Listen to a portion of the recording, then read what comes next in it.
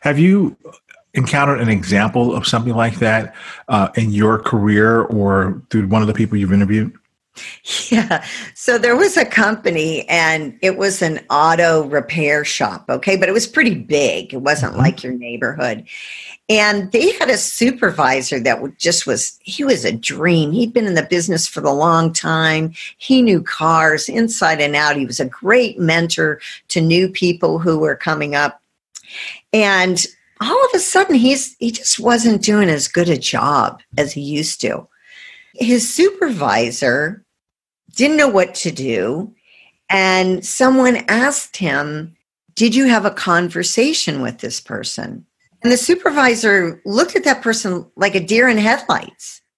No, I never thought about. And I know that sounds ridiculous, but you'd be surprised how many times people don't have conversations with people.